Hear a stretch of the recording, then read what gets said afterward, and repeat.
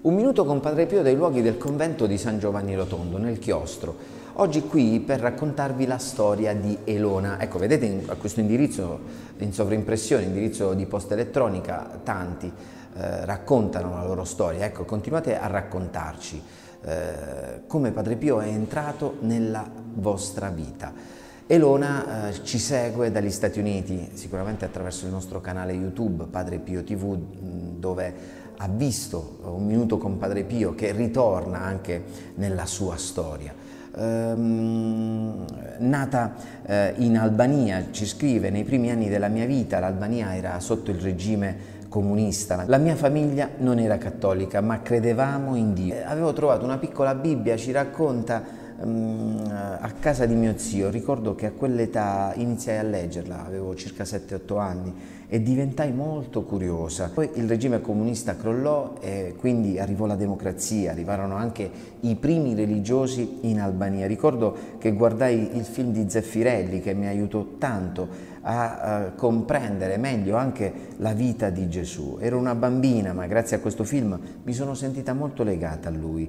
Poi ho deciso così di seguirlo. In quegli anni mi sono avvicinata alla Chiesa evangelista americana. Gli americani furono i primi che arrivarono, ehm, ma poi, finito il liceo, le medie, avevo deciso eh, di eh, andare in Italia, ecco, eh, di studiare l'università in Italia. Prima di partire mi venne una forte ansia, una forte ansia per il mio futuro, una forte ansia eh, per la mia famiglia che lasciavo, iniziai comunque la mia vita da studente in Italia. Avevo sentito parlare di Padre Pio già in Albania da qualche programma tv, ma non sapevo esattamente chi fosse e che cosa facesse. Una mia amica che viaggiava con me un giorno mi eh, regalò un libro, un libro dove nell'immagine di copertina trovai Padre Pio che dormiva sul letto.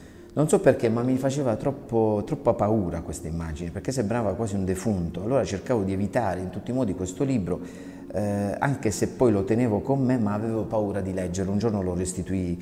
Eh, mi tornò l'ansia eh, che avevo dentro di me, cercavo sempre di nasconderla anche quando tornavo in Albania dalla mia famiglia, eh, ma nel frattempo mi ero allontanata anche dalla Chiesa evangelista. Credevo in Dio, ma non seguivo nessuna Chiesa e nessuna religione. Ogni volta che tornavo in Albania per l'estate stavo veramente male, un'ansia che mi portò alla depressione, pensavo che non avevo più speranza e che nemmeno Dio mi potesse aiutare, mi sentivo uh, un caso perso, che nemmeno Dio voleva bene perché non voleva proprio aiutare. Allora, eh, tornando dall'estate verso mio, eh, la mia città dove abitavo in Nord Italia, allora passando in autobus eh, per la Puglia mi fermai in un autogrill, eh, ricordo che ero molto depressa, pensavo a non avere più speranze per la mia vita, allora in quel negozio trovai un piccolo rosario con una foto di Padre Pio in una piccola scatola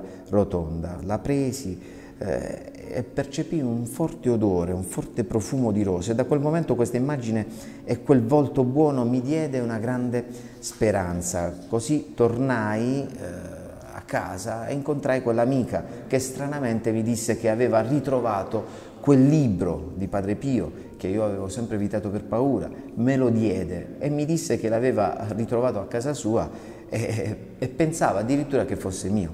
Da quel momento ho capito che c'era qualcosa di speciale e questi eventi non erano un caso, ma che Padre Pio voleva aiutarmi. Presi il libro e iniziai a leggerlo. Avevo così tanta sete di sapere su di lui eh, e ho letto quel libro in pochissimo tempo. Il suo libro, il suo rosario, lo tenevo sempre con me, mi aiutavano nei momenti difficili quando l'ansia mi tornava decisi di eh, fare un pellegrinaggio a San Giovanni Rotondo con mio fratello, la mia amica, per conoscere da vicino quei luoghi dove era lui vissuto e anche per ringraziarlo. Mi era tornata la voglia di vivere, la voglia eh, e la forza di vivere. Da quel momento non mi sono più allontanata da lui. Era il 2005 quando sono andata per la prima volta a San Giovanni Rotondo e, e da allora Padre Pio è sempre stato nel mio cuore e nella mia vita. Non dico che non ho più avuto momento, momenti difficili eh, dopo questo incontro, ma eh, tutto è stato più facile perché sentivo la sua presenza accanto. Nel 2019 finalmente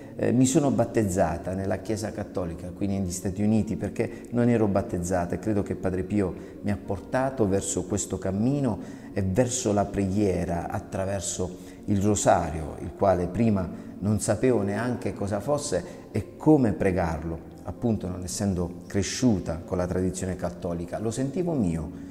Con l'aiuto di Padre Pio ho iniziato a pregare, a recitare il rosario e adesso è diventato parte della mia vita quotidiana, lo recito tutti i giorni. Quando poi ho lasciato l'Italia, sono venuta qui negli Stati Uniti per cercare un lavoro, ero in un momento un po' difficile, stavo cercando di trovare quel lavoro che eh, sempre desideravo, Padre Pio mi è apparso in sogno una notte che mi abbracciava e non mi ricordo le parole eh, o se mi ha parlato, ma ricordo bene quell'abbraccio e dopo quel sogno tutto è diventato bello per me. Ho trovato un lavoro, quel lavoro che mi piace, ho conosciuto mio marito e adesso abbiamo due bellissimi figli. Penso che Padre Pio mi segue in ogni passo della mia vita e io lo tengo sempre con me. Mio figlio piccolino lo chiama nonno perché ce l'abbiamo nella stanza, un quadro, ed è con noi, sin da quando era piccolo glielo facevo sempre vedere, così anche baciare la sua immagine. Ringrazio Padre Pio perché mi ha scelta e mi sento una sua figlia spirituale.